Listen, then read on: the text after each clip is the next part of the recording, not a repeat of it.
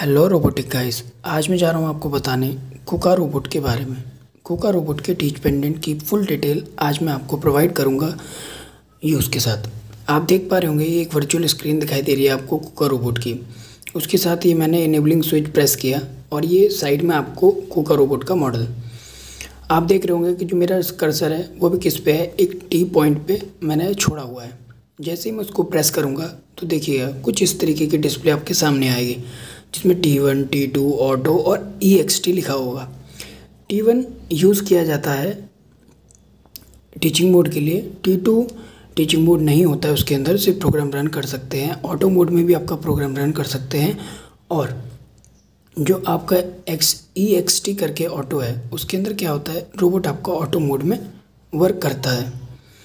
अभी आप देख रहे होंगे, ये कुछ एक्सेस के नेम है। A one A two A three A four A five A six मैंने आपको भी कुछ डायग्राम्स में दिखाया तो आपने देखा होगा कि कुछ फ़ोटोज़ दे रखी थी जो कि शो कर रही थी कि किस तरीके से रोबोट की एक्सिस ए वन कैसे बोलते हैं ए टू कैसे बोलते हैं ए थ्री कैसे ए फोर कैसे ए फाइव कैसे ए सिक्स कैसे। तो इस तरीके से रोबोट जब हम इनकी एक्सिस को प्लस करते हैं plus means forward minus means backward A one जो है वो एक्स एक्सिस के लिए है मतलब बेस के लिए ए टू उससे अपर एक्सेस के लिए ए थ्री उससे थोड़ी सी अपर एक्सेस के लिए।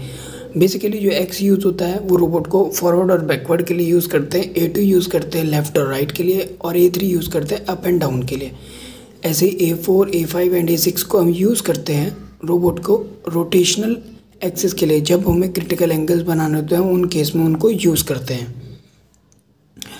यहाँ पर आप देख पा रहे होंगे कि मैं कर्सर्स पर क्लिक करके आपको दिखा रहा हूँ। रोबोट अभी मैं इसलिए नहीं लेके आया यहाँ पर आपको दिखाने के लिए। मैं सिर्फ़ आज बेसिकली टीच पेंडेंट की डिटेल दे रहा हूँ। जब मैं रोबोट के ऊपर काम करेंगे हम लोग, तब मैं रोबोट का मॉडल भी आपके सामने लेके आऊँगा और उसकी वर्किंग आपको दिखाऊँगा।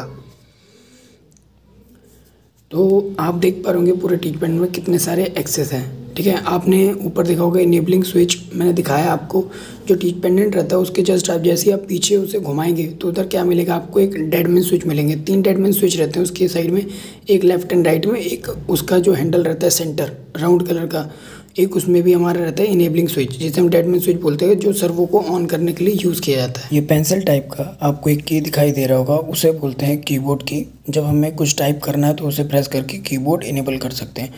उसी के जस्ट नीचे आपको रेड कलर का बटन दिखाई दे रहा है, उसे कहते हैं स्टॉप की उसका यूज़ किया जाता है एक रनिंग प्रोग्राम को स्टॉप करने के लिए। फिर इसी के जस्ट नीचे जब हम आते हैं तो वह है स्टार्ट की बैकवर्ड बटन जब प्रोग्राम को हमें रिवर्स रन कराना है, तब उसको यूज़ करते हैं। फिर उसके जस्ट नीचे एक और है स्टार्ट की फॉरवर्ड बटन उसको यूज़ किया जाता है प्रोग्राम को अप अप से डाउन में रन कराने के लिए। अब आप देख पा रहे होंगे, आपके डिस्प्ले पे ये आता है अब ओवरराइड बटन इसको यूज़ करके हम प्रोग्राम की और अपने जॉक की स्पीड को मैनेज कर सकते हैं। आप देख पा रहे होंगे, ए सिक्स के नीचे जो बटन है, उसे हम कहते हैं प्रोग्राम ओवरराइड। उसको प्रेस करके हम क्या करते हैं, अपने जो प्रोग्राम की स्पीड है, ऑटो में, वो ज़्यादा या कम कर सकते हैं। उसी के जस्ट नीचे जब हम आते हैं, वो है हमारा जॉग ओवरराइड। उसका यूज़ करके हम क्या करते हैं, अपने जो मूवमेंट है, रोबोट के एक्सेस का, उसे हम स्पीड को बढ़ा सकते हैं और कम भी कर सकते हैं। आप देख पा रहे होंगे, ऊपर ये जो रोबोट का साइन बना हुआ कुका का, इसे कहते हैं मेन मेन्यू बटन जैसे हम इसको प्रेस करते हैं तो हमारे पास मेन मेन्यू की विंडो खुल जाती है जहाँ से हम अपना robot calibrate plus main program और कई सारी चीज़ें हम यहाँ से इनेबल कर लेते हैं। अब हम आते हैं इंक्रीमेंटल जॉगिंग मोड पर। इसमें आप देख पा रहे हो एक है continuous hundred M M ten M M one M M ये यूज़ किया जाता है हमारी इंडिविजुअल एक्सेस के मूवमेंट के लिए कि हमें एक बार प्रेस करने पर कितनी इंडिविजुअल एक्सेस मूवमेंट करानी है। फिर उसके बाद आते हैं हम लोग कर्सर टूल बेस पर। इसमें टूल सिलेक्शन किया जाता है बेस सिलेक्शन किया जाता है और ग्रिपर चूज़ करना है पेन चूज़ करना है वट जो भी हमारा मन करेगा वो हम चूज़ यहाँ से कर सकते हैं और अपने प्रोग्राम को और बेटर उसी तरीके से हम लोग बनाने की कोशिश करते हैं। अब आप देख रहे होंगे कि एक ऑप्शन आ गया हमारी स्क्रीन के सामने कि। ये जो एक ऊपर और एक नीचे की दिया हुआ है, ऊपर वाला जो रहता है वो स्पेस माउस की बोलते हैं उसे और नीचे वाले को कहते हैं हमारा जॉग कोऑर्डिनेट की। अगर स्पेस माउस क्या होता है स्पेस माउस रहता है जब आपने टीच पेंडेंट देखा होगा, उसकी साइड में एक हमारे पास रोटेटिंग टूल रहता है, जिससे हम लोग up and down left right और मतलब कि हर साइड में प्रेस करके हम अपने जॉग को रोबोट को, और उसकी हर एक एक्सेस को मूवमेंट करा सकते हैं।